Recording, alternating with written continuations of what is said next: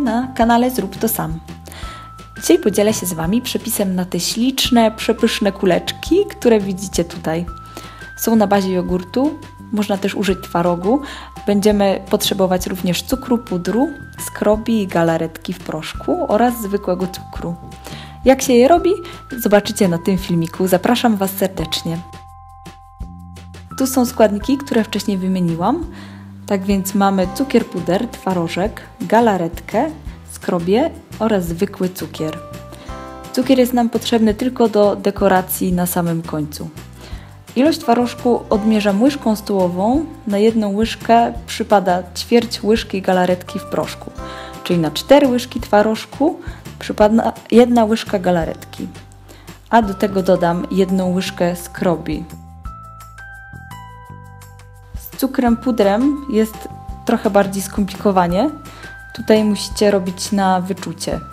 Najlepiej zacząć od niewielkiej ilości i stopniowo dodawać według uznania. E, będziemy potrzebować naprawdę dużo cukru pudru. Myślę, że jedno, dwa opakowania. E, zależy od, od wielu czynników, o których potem Wam powiem. Więc możemy zaczynać.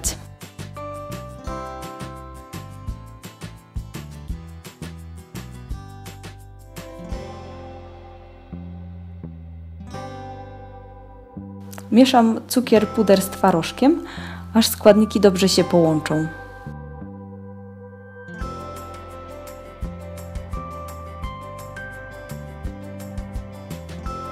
Nasza masa powinna mieć bardzo gęstą konsystencję, powinna być dosyć sztywna. Widzicie, kiedy przechylam miseczkę, tutaj nic się nie rusza, nic nie pływa. Jeżeli z Waszą masą jest inaczej, to musicie dodać cukru pudru, aż uzyskacie taką właśnie konsystencję. Oczywiście wszystko zależy od innych czynników, temperatury w pokoju.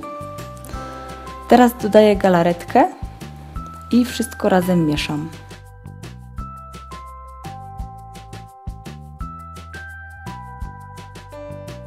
Masa zmieniła kolor na różowy.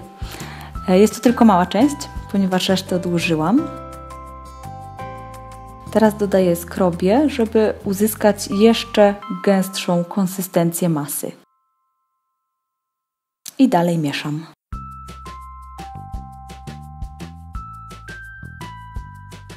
Finalnie masa powinna mieć naprawdę gęstą konsystencję, dość dobrze wyrobionego ciasta, z którego łatwo będzie się dało formować kuleczki.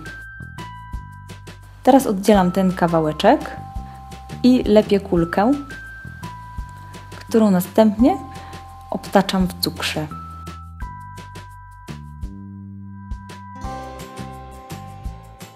Tak wygląda gotowa kuleczka. Odkładam ją na talerzyk i lepię kulki z pozostałego ciasta. Tutaj mamy już gotowe kuleczki. Trzeba je na chwilę odstawić, może najlepiej do lodówki. Jeśli dzisiejszy filmik się Wam podobał, to łapki w górę. Czekam na wszystkie Wasze komentarze. Możecie się w nich dzielić wrażeniami, e, Waszymi życzeniami albo pomysłami na dalsze filmiki. Zapraszam Was również do oglądania innych naszych filmików, e, do zapoznania się z naszymi innymi pomysłami i subskrybowania naszego kanału. Na razie, cześć!